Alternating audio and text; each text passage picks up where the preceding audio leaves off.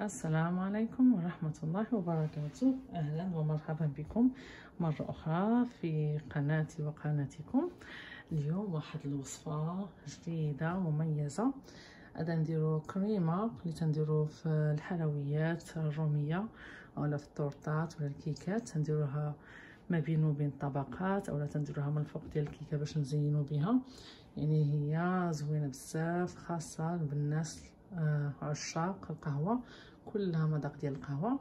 هاد آه الكريمة ما فيهاش ما نحتاجو لا كريم شونتي ولا حليب ولا بيض. سهلة جدا في التحضير وبمقادير بسيطة جدا.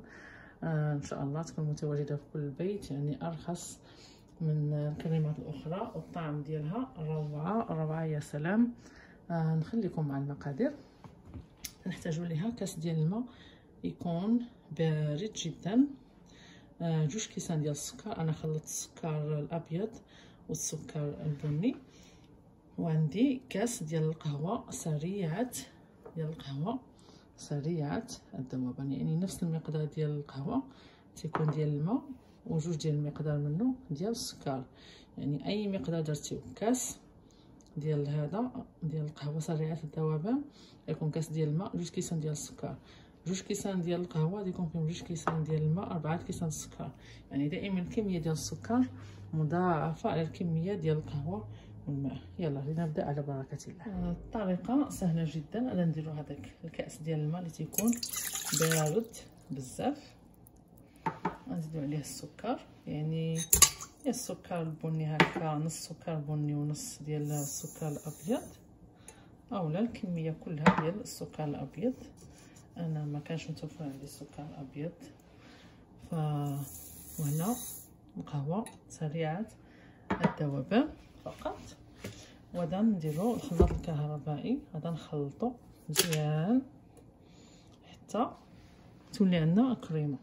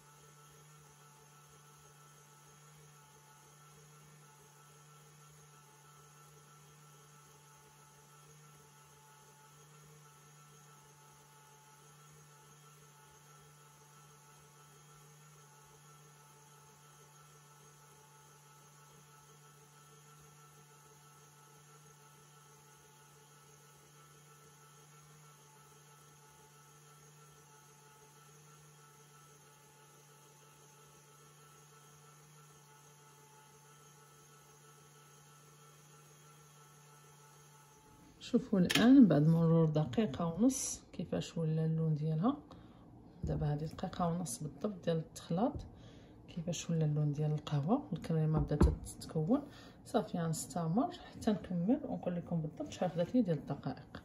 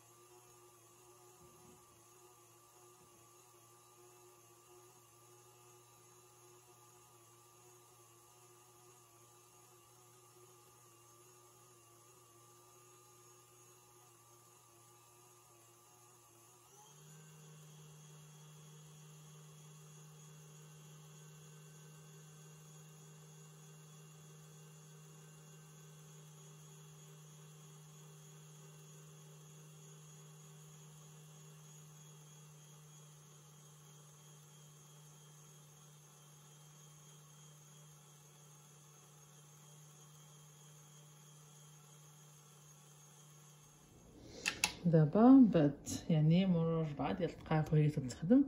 شوفوا القوام ديالها كيفاش دايره هاد الكريمة شوف. كريمة بواحد القوام يعني شوف. بديت نهز هذا كيفاش داير.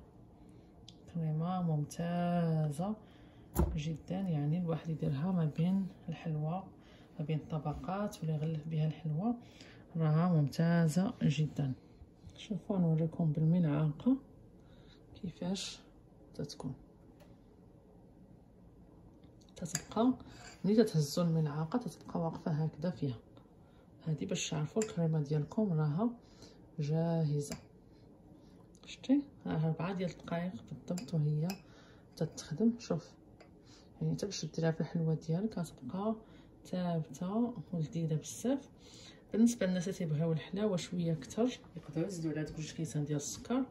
هو على حسب كل واحد يبغي في الحلاوة لأن تتبقى تكون فيها الطعم مشهد ديال القهوة اللي تيبغي شي حاجة حلوة بزاف يقدر يزيد حتى جوج كيسان ونص بالنسبة لكاس ديال القهوة. أنا بالنسبة لي جوج كيسان راهم طعم كافي. وراها شوف زعما ممتازة ممتازة الواحد يديرها ما بين الطبقات أو يزين بها شي حلوة. شوف كي تتبقى. يعني ديروها ما تندموش عليها.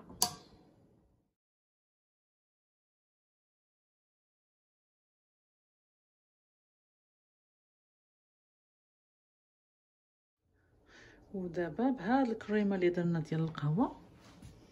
راها غادي نديرو بها الكابوتشينو المنزلي مثل اللي تيكون تيوجدوه في القهاوي ديال برا بامتياز. يعني هاد الكريمه يمكن تحتفظوا بها من يومين حتى ثلاث أيام في الثلاجة. ممكن تحطوه في واحد العلبة ديال البلاستيك تقفلوا عليها. بحال دابا جاي عندكم الضياف. ممكن إلا بغيتو ديروا بها الكابوتشينو ديروه بها تكون عندكم نهار من قبل موجدينها. يجيو عندكم الضياف. هي تسخنوا الحليب وديروها مهمه هي الكريمة اللي وجدنا مع بعضياتنا. هنا تياخذ الواحد حليب تيكون كامل الدسم وتيغليه الانسان صافي هذاك الحليب الواحد تيديرو هكا في الكاس.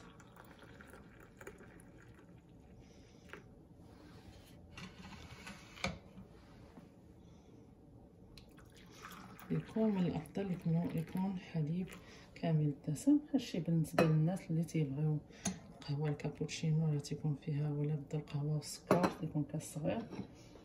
يعني غتكون بحال مرة بشحال صافي وياخذ الإنسان هذيك الكريمة ديالو.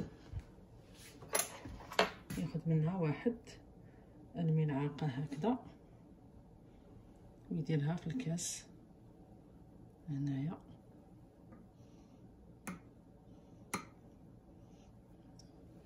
ياخذ عاوتاني واحدة أخرى يديرها في هذا الكاس. صافي. والانسان يحاول يذوبها. في هذاك الحليب سخون هكذا.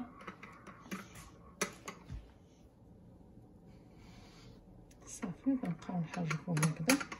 حتى تمزج هاد القهوة. هاد الكريمة ديال القهوة مع هاد الحليب. عرفتي راه بامتياز كابوتشينو. بحال ديال المقاهي ديال برا. بأقل تكلفة يعني في الدار. قلبا عندكم مجموعة الناس جايين عندكم الضيوف. عرفتي هاد الكريمه تبارك الله شحال تدير واحد يدير نص المقادير ديالها ويحتفظ فيها. الثلاجه ها هي.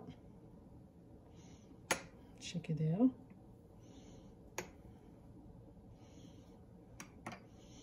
صافي. نفس الشيء نديروه بالنسبة للكاس الثاني كذلك. حتى هو. نحاولوا نخلطو. راه تتكون عاقده هاد الكريمه بزاف.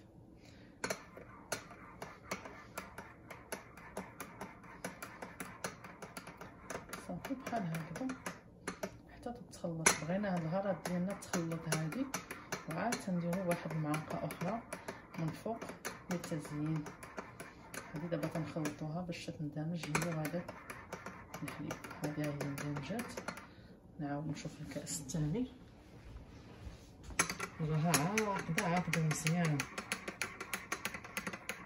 يعني جربوها ما تندموش عليها. وصفة ناجحة جدا. ديال الكابوتشينو المنزلي. واللي بغى يزين شوية من الفوق غادي يدير. يزيد واحد نص معلقة يخليها هكذا من الفوق.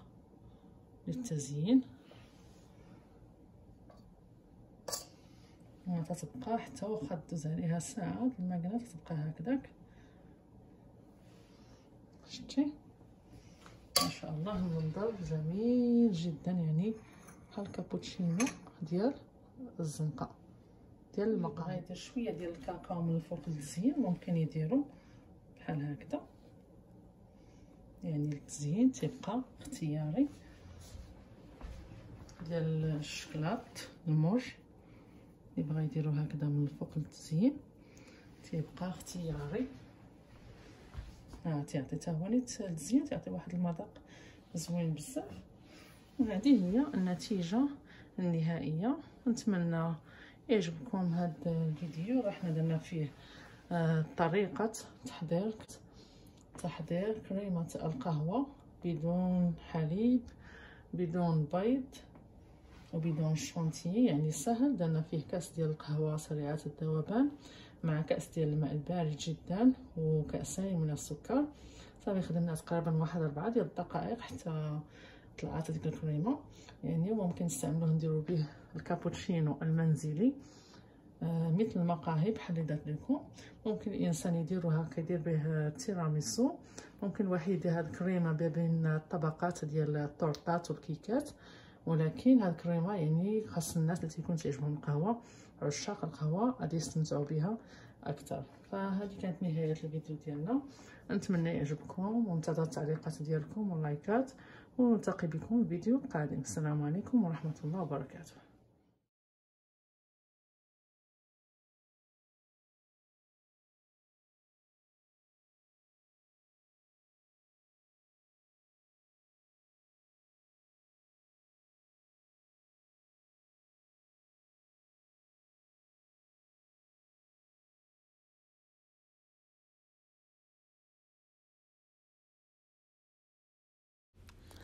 وهنايا طريقة الاحتفاظ بهذا الكريمة اللي بقات لنا.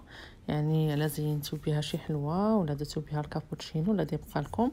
قلت لكم تحتفظوا به يومين ثلاث أيام في الثلاجة ماشي في المجمد تيبقى مزيان. بحال دابا هذا نخويه في علبة هكذا ديال البلاستيك صافي. وغادي يخليه الإنسان يغلقو مزيان يكون محكم الإغلاق ويستعملوه خلال هذيك المدة.